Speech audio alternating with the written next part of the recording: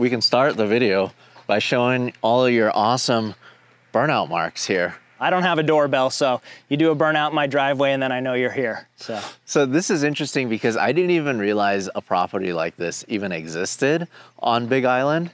You know, we're out here actually shooting a bunch of cars and checking out some of the car culture, but a lot of people were telling me I need to go check out Ryan's collection. And uh, you've had a Super Street feature before. yes, yep, about a year or two ago. So tell me about this property. This is crazy. It's almost like you have your own little racetrack here. So it's uh, about five acres here, and when we moved in, it was just the house here. It's not a, anything special. It's just about 2,000 square foot home uh, with a, an Ohana guest house and a two-car garage. But being a car guy, two-car garage ain't, ain't gonna cut it. So we added the, the garage on. Let's check it out. All right. I'm assuming that's probably your daily driver, huh? Uh, yeah, that and the Junker Tacoma over there. Yeah.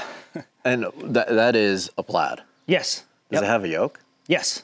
Can we take a Ab- look at it? Absolutely. Yeah, it's kind of torn apart too. Unfortunately, I'm trying. I'm trying to get it into the eights this weekend. So This is something that you can actually use on the island because you do have a drag strip here. Yeah, absolutely. Yeah, the, the local car culture here is awesome. The old school stuff is so cool. I love going down to the drag strip because you see a little bit of everything. You know, everybody's welcoming. There's not, you know, any issues because you're an import guy or a domestic guy or anything like that. I go down with an electric car and, you know, I've, I haven't had anybody say anything negative. Is this the quickest car on the island? Uh, no, I mean, there's some legit drag cars on the island. What about street car? Well, what's your you know what's your definition of street car? So I mean, I would say it's the fastest truly stock car on the island. But Um, you, you've actually gutted it. yeah, Can yeah. we open this? yeah. So the Tesla doesn't get pissed off? Like, It it's you know okay? it, it definitely is notifying me that the rear airbags are having issues and it's notifying you of all that, but it's still not cutting the power or anything like that. We'll see. I have some uh, Kevlar driver's seat for it. I'm in the process of installing that. I'm curious to see if the car freaks out over that. Oh, of course.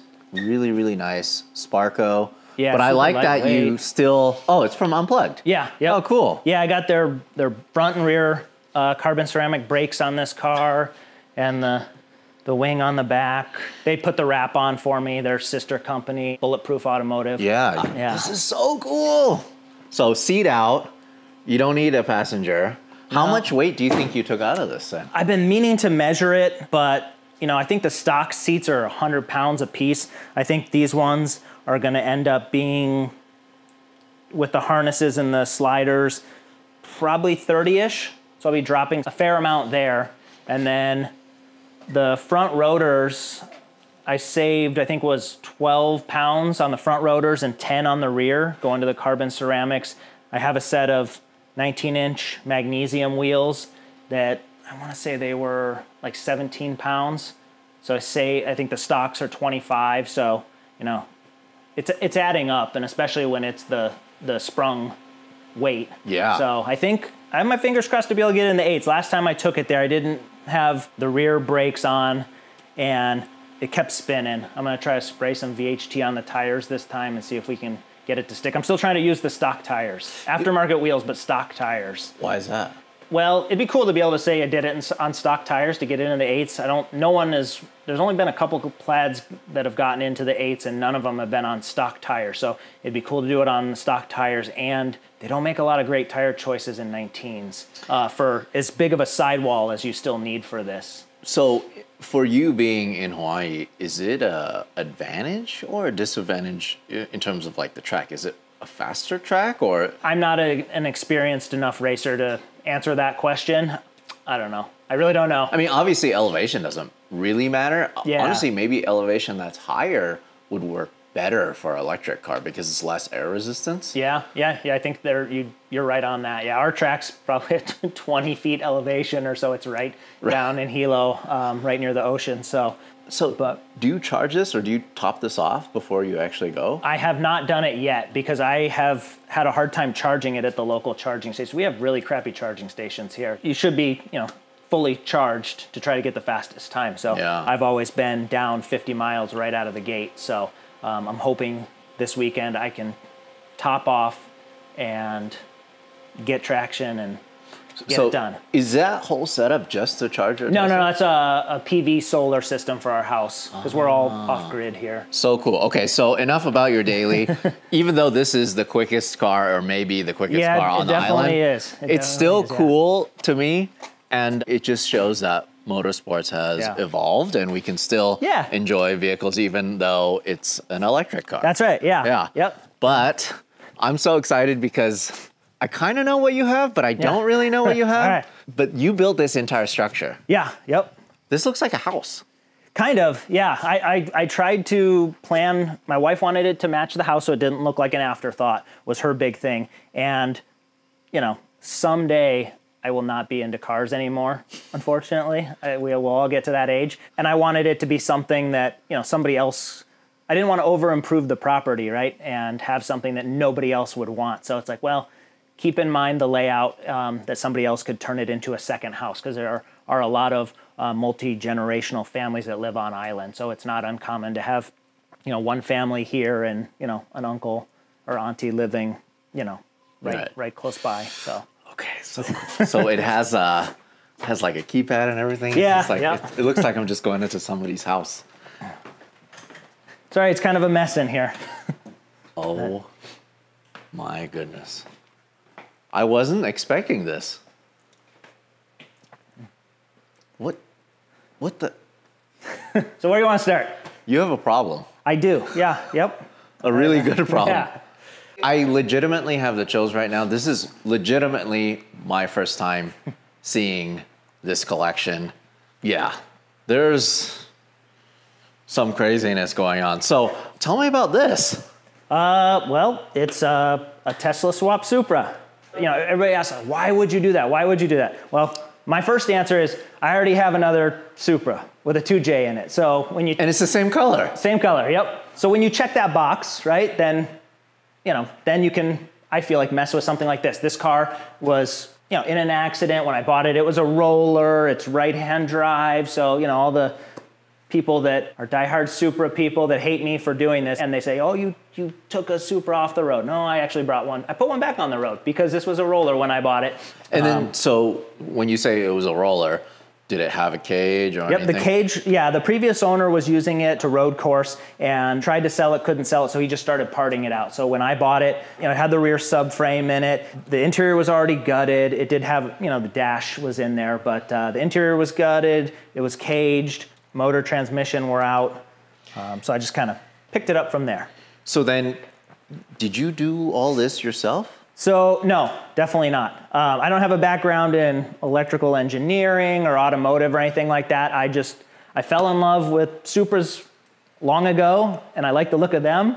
And then about five years ago, I fell in love with Teslas, owning a P85 Model S, and then I got the idea to, you know, put them together, kind of take the look of the Supra, but the advantages of an electric motor and, and do this. But yeah, I had some local guys that have helped me with the wrenching. I have a fabricator that's local. My tuner has been like super instrumental. He came out and visited and saw what I was doing. He's like, "Oh, I want to get in. I want to get involved in this and help out," which was great because I would have be lost without him. Yeah, but you're the conductor. Like they come here to your property. yeah, yeah. I mean, I've been doing a lot of the wiring myself. That's kind of on me, but um, you know, I'm constantly pestering other people, like, hey, you know, why doesn't this work? You know, how, how am I supposed to do this? And luckily, there's a lot of people that seem to uh, be willing to still answer my phone calls. I don't know why, but It, th- this is great because you're kind of on the forefront of this, right? I understand that this is a thing now. Yeah. Right? But I've never seen anybody do this with a Mark IV Supra. And no, I, I, it, to my knowledge, it's the first Mark IV that's been Tesla swap for better or worse. But that was kind of what interests me. It's cool to do something different. Like what what kind of hasn't been done with a Mark IV Supra, right? They're a thousand horsepower and one not a big deal anymore, right? Yeah, Um, that's so- old hat. Yeah, yeah. so it, it's just to me it was interesting. Like, oh, let's let's do something different. So then, what did this come out of? Does this Okay. come out of like a P85 or? Yeah, pr- pr- pretty much a P90 actually. Okay. So it's a Model S or Model X. They use the same stuff, but that's half the batteries out of one. Yeah, it's a Where's the lot of batteries. Why is it all out right now? So over the last couple years, we built it, and the goal was like make it run. So it took about a year and a half to make it drive. drove it a little bit for you know a few months, and then like everybody else, like let's make it faster. There's a Tesla subframe under there. Got it. Okay, Yeah. so you actually want to do over fenders. Yeah, we have a, a Ridox kit that's all painted, ready to go. Makes me wonder what Arito is going to think about this Yeah. once it's done. Yeah, well, you know, at this point, I like I said, it looked terrible before, but now I'm trying to make it look good. Are you going to keep it green? Yeah, yep. So it was white before, and we painted it about uh, a month ago. Yeah, we haven't wet sanded it or anything like that. We just kind of sprayed it and put it back in here. And I've been working on the inside. We're gonna weld up some of the holes, spray the inside. Then it's going to my fabricator, who's going to put a front drive unit in it. So this is going to be all-wheel drive. then? Yeah, and with the push of a button, you will be able to choose if you want it all-wheel drive, just rear-wheel drive, just front-wheel drive, and I have hopes with the help of AEM that we'll be able to independently control the drive units and actually make them go in opposite directions as well at the same time. So you could do a you know burnout with the car trying to tear itself apart or push itself together. That is Just for fun.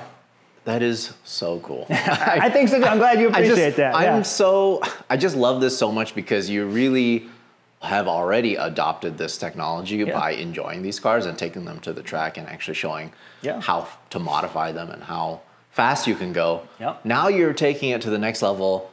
I'll be honest, I just don't think they look good. I just don't think a lot of these new electric cars, Yeah. while I understand they're really fast, Yeah. just don't have the soul. yeah. Right? Yeah. No, and there's then there's definitely truth in that. if you're 90s, 80s kid, even a 2000s kid, how could you not like the Mark IV Supra? Yeah. You know, Fast and hard- Furious, yeah, and just to. so much of car culture has led us up to this point for us to like enjoy these shapes. Yeah. Not only the Supra, you know, NSX, and you have, you have pretty much the JDM collection. Like this is, this is the trio, right? I mean. Yeah. Mazda, Honda, Yeah. Nissan. And what's next for you? Um, well, in hopefully in about uh, four to six months, I have um, a Hako in California that's been being rebuilt for the last two years, so that'll arrive. So I'm looking forward to having that here. But I, I think at that point, um, I never want to say I'm done, done, but I, I think I am kind of done with cars. There's a lot of other cars that I would love to add. I'd love like an S15, an Evo. Like there's a long list like everybody else. I'd, like a 240Z. I'd love to have something like that, but You have I enough just- room, sir. uh, I, I kind of don't like you know I it, I need another garage is really what I need because like I don't I don't like working in here around have- all these other cars. You have a lot of room. I do have a lot of room. I could build another garage, but no one's gonna feel bad for me. But I have all the toys I want, but no time to enjoy them. Like Yeah. the Understood. uh, the let's see what is it? This car made it out of the garage. Um, a couple weeks ago for a photo shoot, and that's the first time any of these cars have been out of the garage all year. So, um, Can, can we take a look at this stuff before we dig into some Sure, of your other sure. cars? So, this was actually in the Supra. Yes. So this is the lower battery box in the front. So the, the, the, the motor or the drive unit sits in the subframe in the back of the Supra. Um, and it's in there now if you want to kind of crawl under there and take a look at it. But uh, half the batteries sit in the front, and the this is the lower box, which holds two batteries, and then the upper box holds six more. That's a, a drive unit. That's the drive unit that's going to go in the front. That's the motor right there Got it. on the left side, and then the diff is in front. And then the inverter, which controls it, is sitting over there on the bench. Um, normally they're mounted together, and you mount the whole thing. The whole thing sits in the subframe, but it's too wide to fit in the rails of the Supra, so we're going to remote mount that. I love this. Yeah, the guys at uh, Salvage to Savage Yeah. made that piece, which Love saved me a ton of time in trying to, you know, like 3D scan that. That's not my thing. So. How did you get all of the driveline stuff? Um, did you buy it? So I bought uh, originally when I first decided to do the Supra. Um, I reached out to Stealth EV. Um, they sell kits, and I basically told them, "Here's what I want to do," and they kind of put a whole package together that includes, you know, the batteries, the drive unit and subframe, um, an onboard charger, a DC to DC converter to take the high voltage because you no longer have an alternator, but you still have a 12 volt system. So the um, DC to DC converter takes high voltage from your high voltage battery pack, converts it down to 12 volts to charge and run your lights and everything else. So they kind of supplied that pack, um, and I put that in the car. Um, now I've recently found a couple places online that buy salvage Teslas and tear them apart and offer all the parts, so you can buy kind of anything you want and get it shipped to you. Because those batteries uh, on the actual Tesla, they're structural, right? Or it's like the bottom. I, I think the, the newer ones are the what they call them like a 4680. Um, they're structural now. These ones were not. They are in this giant like I don't know tuna can type thing Mm-hmm, that's you know pretty sealed up, and once you open it, you know it's very hard to get it back together. Got it. Yeah.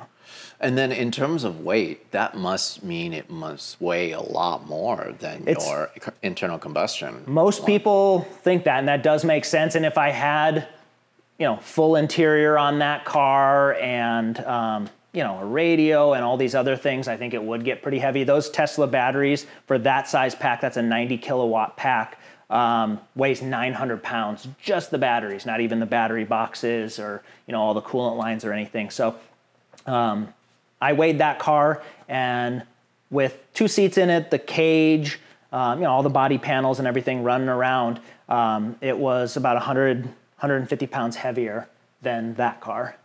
That's it. Yep. That's not Yep. bad. Yeah, and you know, with that, that cage is very involved. So if that wasn't in there, I think that would make them pretty even. Again, no air conditioning, no heat in that car. You know, we live in Hawaii. You really don't need that. Yeah. So. All right, so let's talk about your internal combustion Supra then.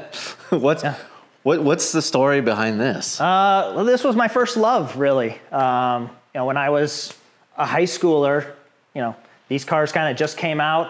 Um, I, I loved them. My stepbrother had uh, a Mark III Supra, and he took me for a ride in that thing, and uh, man, he just about killed us. And I, after that, once we got home and I was still alive, I was like, someday, you know. But I was more interested in the Mark IVs than the Mark IIIs. Um, had a couple opportunities to buy one, and my wife, uh, my girlfriend at the time, you know, was smart and said, "Hey, why don't you invest that, you know, that money instead of buy something like this?" Um, which was really smart to invest the money, and because I probably would have been dead if I got one, you know, in my 20s. but uh, when I was uh, about 30, 31, um, she said, "Hey, you should finally get that Supra you wanted." So this was kind of how it started. I, I bought this car. It took me about six months to find what I wanted, um, but uh, it's a twin tur- original twin turbo six speed. Can we Uh, take a look at that yeah. engine? Now it has uh, an HKS T51R in it. Jeez. Have you taken this to the drag strip? Yeah, yep. I used to run this uh, quarter mile and half mile back when I lived in Arizona, and uh, I took it down to the drag strip here for about a year, trying to to get a good time. I made one 10 second pass in Arizona, and I've been trying to get back into the 10s ever since. But either I'm a horrible driver, which is probably what it is, or these are really hard to launch. Yeah, well, I know for sure this is really hard to launch. Yeah. How much power do you think you're making with this? uh, on high boost, this made uh, 888.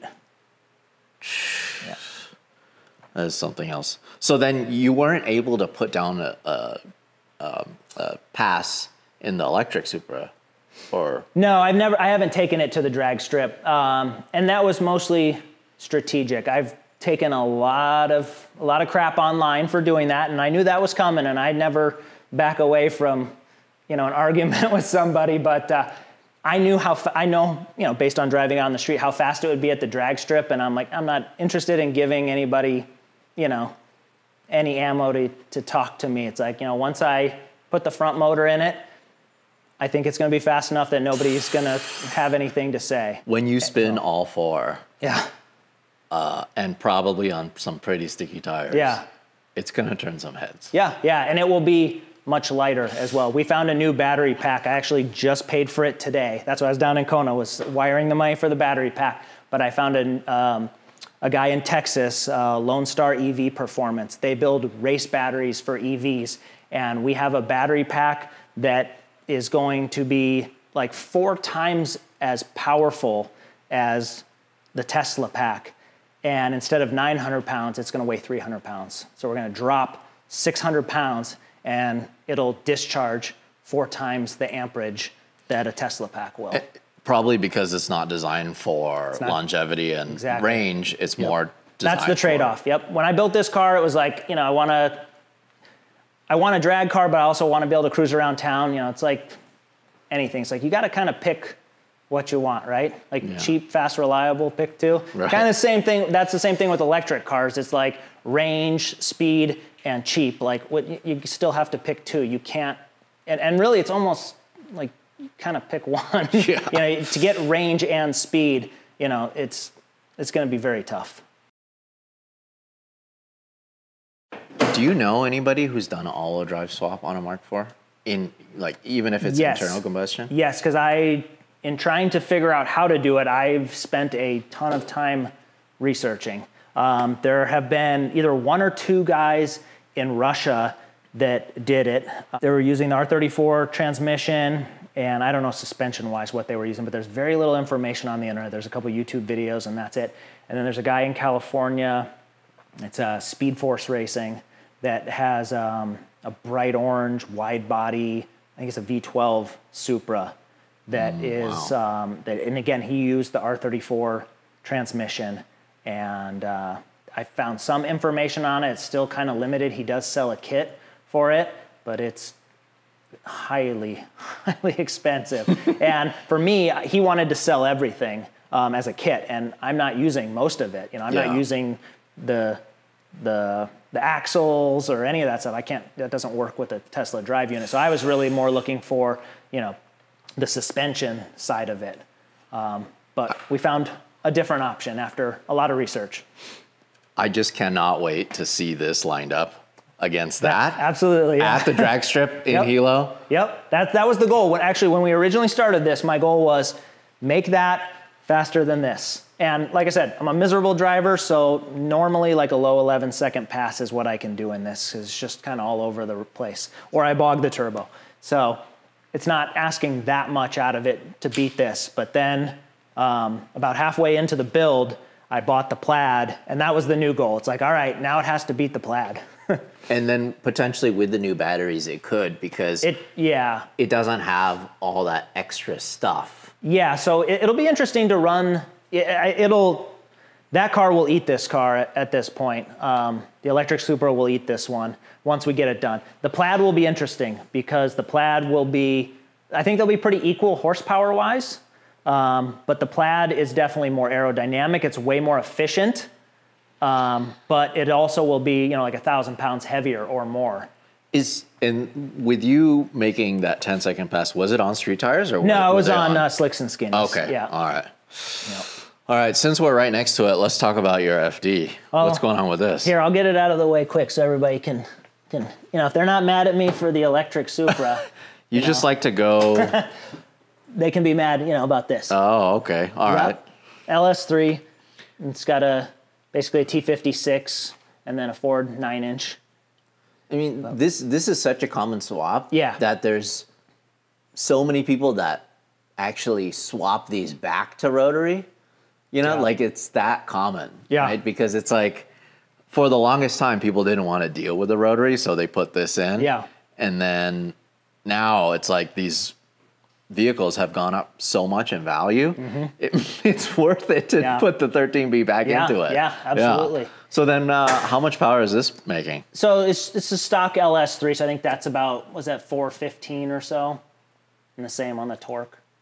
This is cool. But yeah, I bought this car pretty much as it sits, as you see it. I think you know I put a couple little carbon pieces on it, um, and other than that, I've I've left it alone.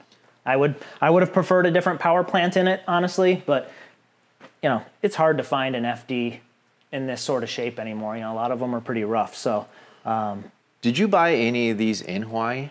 no, All of these were from the mainland. Yep. Arizona or wherever. Yeah, yeah. Well, this obviously. yeah, this was in California when I bought it. Yeah, All right, so tell me about your R34. Bayside Um, blue, yep. best color ever. Yep.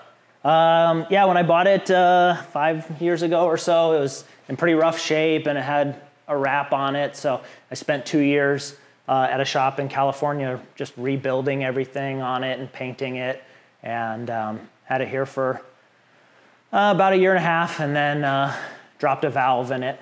So the motor's been out of it for the last year, uh, getting rebuilt at a shop in California, and just got that back. Uh, so about last week. So here in the next couple weeks, we'll get the motor back in it and Where is get it back on. Uh, it's actually at a shop uh, in town. God. Yeah. When people think about Hawaii or when they even think about the Big, Big Big Island specifically, they don't really think about car culture.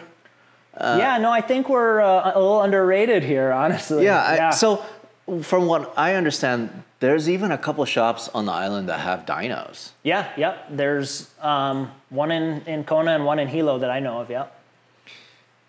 This is so cool. It really is. You know, there's not a ton of people here on this island that are passionate about it, but the people that are passionate, they're they're legitimately passionate. And they're you know we, they do a lot of stuff. Almost every weekend there's something, whether it's a cruise or SCCA or drag racing or, or a show that you know there's there's something almost every weekend. You know, it's crazy because the island with the most population, Oahu, they don't have a place to go drag racing. They don't Yeah. have a racetrack. I mean, the only thing they have is SCCA autocross, and it's like in a small parking lot, Yeah. right? Um, on top of that, it's very difficult for them to ship their cars over to other islands Yes. to race because there's no ferry anymore. Yeah, yep. And there hasn't been for so long Yep. it's incredible to me that a drag strip on this island can survive with just the population on the island. Does it get used for other car events like car meets and No, not really. There's, you know, it's a, it's nice because they have the drag strip. They do SCCA there. They also run go karts there. They have a dirt track there, and then I think they also do dirt bikes and stuff like that over there. So there's a lot of different stuff going on over there. So it's every weekend there's something going on over there if it doesn't get rained out. Is it pretty casual in terms of like every Thursday night or every other night you can just show up and put down a time on the drag strip? No, they're only so the drag strip's closed except for on race weekends. Yeah, so uh, there's two race weekends every month. Oh, Yep. okay. It's kind of something to look forward to every Yeah, every yeah. two weeks. and we cross our fingers that it doesn't get rained out. Got it. Got it. All right. So last car. Sorry, uh, there's just so many things that I want to learn about Hawaiian car culture because you know I've been to a couple shows on Oahu and I've been to a couple meets. I've judged a couple meets also, and it's great. I love it. I think it's so cool. But of course, you know, for me, the performance aspect is what really drew me into cars in the first Yeah. place, and Yep. that's what I love. And just seeing all of these vehicles not built for show while they look amazing, Yeah. they're built for go, including, I'm guessing, this NSX. Yeah, I, you know, I've said every one of my cars I want to, you know, make have them go down the drag strip, and you know, the Supra definitely has made a lot of passes. The NSX has gone down the drag strip a couple times here and a couple times in Arizona when I lived back there. I had both of those when I lived in Arizona. Um, the RX-7's gone down the drag strip. The Skyline has not, um, but you know, after we get through the break-in period, I will get it down the drag strip. What do you think that motor is going to make, or what, what did you Uh, it made 720 before, so I think you know should still have that in it. That's a GTT, so it's just rear wheel drive. So um, putting that power down's challenging on that car. Sounds like fun, though. Yeah, yeah. I you know I know everybody loves the GTR over the GTT. Uh, I like the looks of the the GTR, but I like a rear wheel drive car as well. I feel like they're a little bit more enjoyable to drive. So I had the opportunity to swap that over, and I elected not to. Um, so That's awesome. happy with the way it is. But so tell me about this. This so- is wide body, like really wide. It was originally built by Umbrella Auto Design. I'm not sure if you're familiar with them, but they're up in the uh, Portland area, I believe. And this was kind of their shop car. And uh, yeah, I bought this eh, roughly 10 years ago. And um, it was supercharged at the time. And uh, I've swapped it over to a twin turbo setup. I think it makes uh, is it 630 what this makes. You're so Yeah. casual. You had a supercharger on here, and it wasn't enough. It wasn't enough. Uh, you know, when you're used to driving the Supra with 900 horsepower, you know, you get in this and, you know, This it did feel a little underpowered. So, This is so cool. Twin turbo.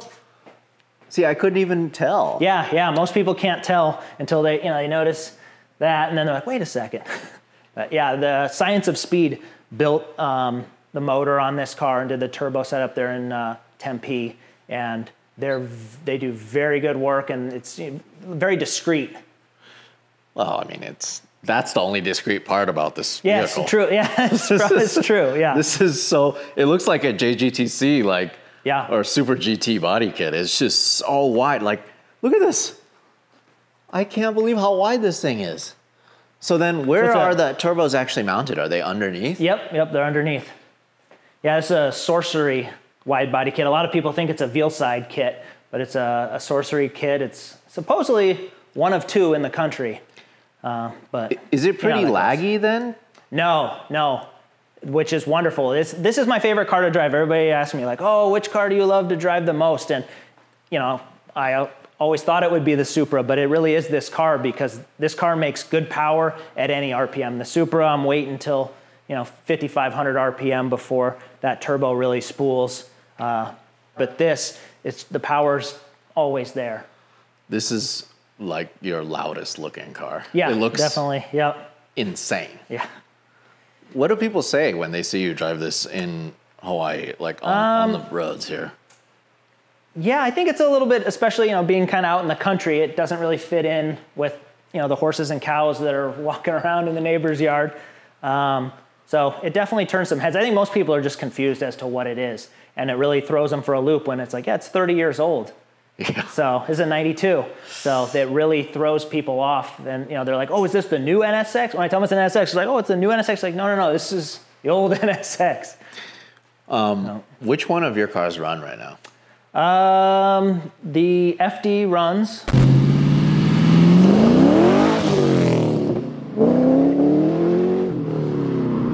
This is really uh, just missing oil at this point in an oil pan gasket. I drained that the other day to swap that. This is missing injectors. I sent those out to be cleaned. That's missing the motor. That's missing a few things. That's, that's missing. it should just have one of those notes: "Do not start" or something Yeah. like on the steering wheel. Yeah. My New Year's resolution was to get all my cars here at my house, since the Hako I said is still in California, and get them all running. Because it's like there's always something you know, that is not running. So that's my goal, is to get everybody running in here. So I'm glad I was able to talk to you about your collection and all your builds now, but I'm bummed that it's not next year after your New Year's resolution, after you make your New Year's resolution, Yeah. um, when all of these things are running, because I would love to hear them and experience them. And before we started rolling, we're kind of talking about how you got into the Hawaiian car culture because you actually moved here without your cars first. yep.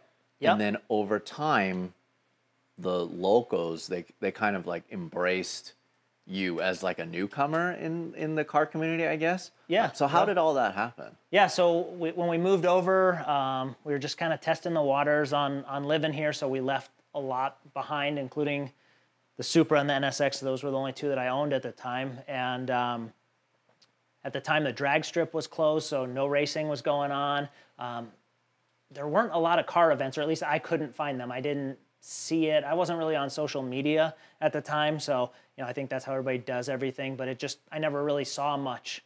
So yeah, I was really debating on just selling the cars and kind of moving on from that part of my life. Um, but ultimately, when we did decide to stay here and send all of our stuff over, I did decide, you know, hey, I can love these cars even if it's just me and there's nobody else doing it. And um, yeah, when they got here and I started driving them around, then it's, you know, not surprising somebody comes up to you and is like, oh, you know, I've never seen this car on island before. Everybody kind of knows what everybody has. So when something new shows up, um, you know, everybody's aware of it. So because the, the the island itself, it's called Big Island for a reason. It's actually bigger than every other island. Yep. Uh, and the land mass is actually pretty big, but the population is small. Yes. Yeah. I think somewhere around 300,000 people on this island. Yet I think they say all the other islands combined physically could fit on this island. So So then, when you moved here and you've already lived here, you didn't have these cars here.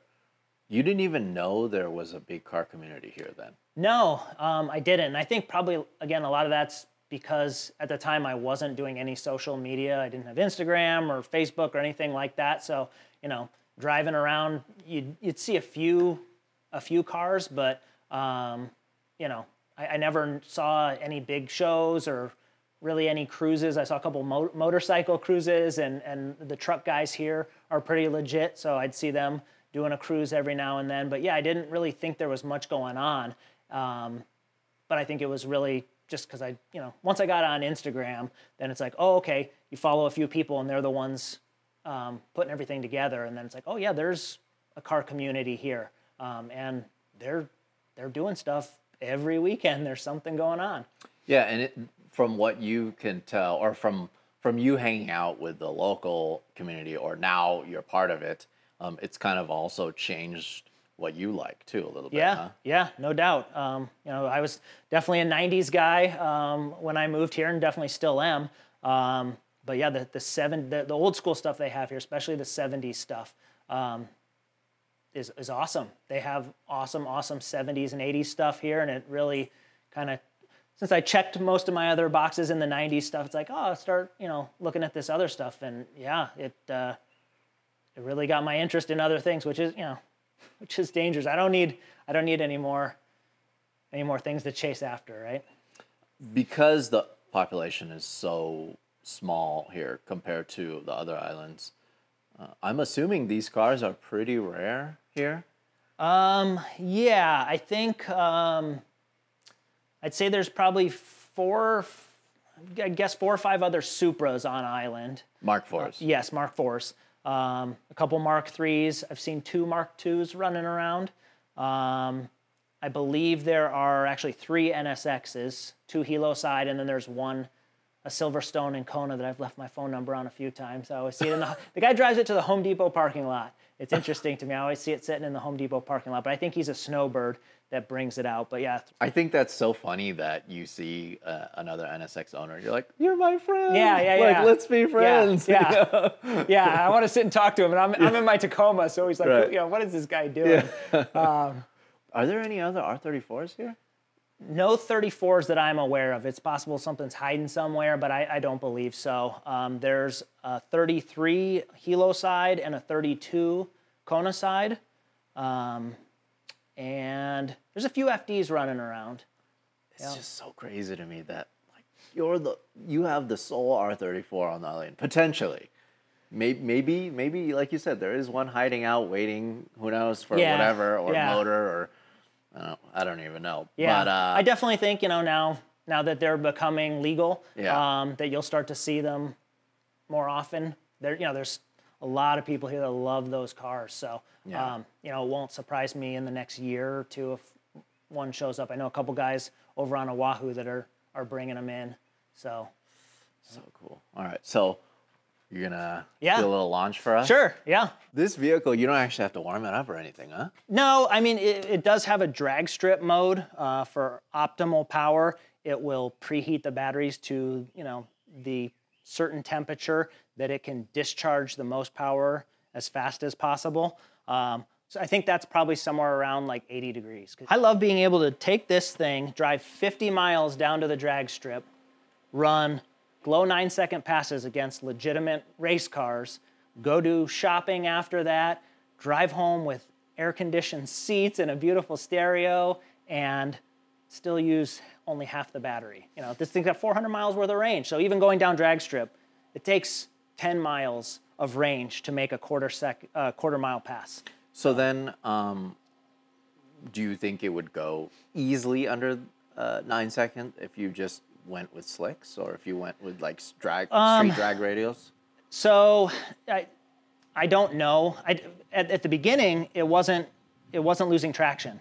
Like when it was when, before I took any weight out of it, you know, it doesn't spin the tires on the street. It didn't need the prep surface. But once I started taking out the interior, upgrading, you know, taking weight out of the wheels and the brakes, it's it's spinning now. So I'm hoping with that prep I won't need the wheels because you don't want the sticky tires on the top end of the track. You know, your your rolling resistance is hurting the car. So if you gain traction with sticky tires out of the hole, you're hurting your mile per hour. So it's like you're gaining some time here, but giving it up on the top end. I, I don't know if you're actually getting your eight second pass. The two people that have, that I'm aware of that have run eights um, had weight out of the car and they were running um, a 20 inch wheel and they were you know probably on I think like an, on an R triple eight or something like that. Unfortunately, I can't get an R triple eight in a 19 that has the sidewall that this car needs. So um, I probably should have gone with a 20 inch wheel, but I was trying to go with the smallest wheel. You know, get Yeah. my mindset was wait, wait, wait, wait, wait, Right. get as much out as I can to try to get it into the eights that way. So are you actually gonna put it in drag mode? Yeah, I'll put it in drag strip mode, and it'll allow you to do a true launch where you hold, you hold the brake and floor it and let off the brake. Whoa! That's not dramatic at all. It just goes so fast. It didn't chirp or anything. No, it it definitely feels like it it pulled some power. It doesn't doesn't like these 21 inch wheels. It definitely does a lot better on a 19 with some sidewall on it. Wait, Um, so then this this weekend when you go to the drag strip, you're gonna put the 19s on. yeah, yep. And what tires are those? It's a stock uh, Pirelli P0. God. Um, and you know, for the power they're dealing with, I, they do a pretty darn good job. It's interesting because um, what it's doing uh, in order for it to launch properly is putting power down, or there's like Uh, yeah, I think it is preloading. it's preloading Yeah. power because I could see the whole thing like lower Yeah. from everything just being Yeah. under stress. I guess. and I- that's and that's in, actually where it'll be interesting to race the electric Supra versus this because I'm not going to be able to like preload that car. I mean, maybe someday we'll get to that point, but this has a lot of technology in it that is going to be an advantage over that car. But I think we'll have a horsepower advantage with that car, and hard to argue with you know 1,200 pounds lighter. So that'll be, I think, a thing of traction. If that car can get traction, then I think it will win. But this, Versus this, yeah. Think so. even though this has claimed what a thousand two yeah, I think they, horsepower, they say what a 1020 is what these are. Yeah. but then the Supra, you're expecting it to be. There's like a range of power that potentially could be, right? Yeah, so yeah, and I think it just comes down to I don't understand why they're when you look online, you see different people claiming different things. Even companies selling the motors are claiming different things. But I've seen as high as was it six like 675 or 645, something like that. So if I I look at it, And that's from two motors. that's from one motor. Oh, that's from one motor. Yeah, so then, the that's the rear performance drive unit, which is what's in that car right now, and we're putting a second one of those in there. So basically, having two rear motors in that car instead of going with a typical front motor. Sometimes when people electric swap and they want to be all-wheel drive, they'll put a, a front motor because the front motor on this is significantly smaller than the rear. got it. Okay, Yeah. so that's why you're thinking it potentially could be faster than this on the drag strip because Yeah. it's two rear motors. Two rear motors, yeah, and again, anywhere from depending on how you where you look, as low the lowest I can find is like 450, and the highest 645. So you double that.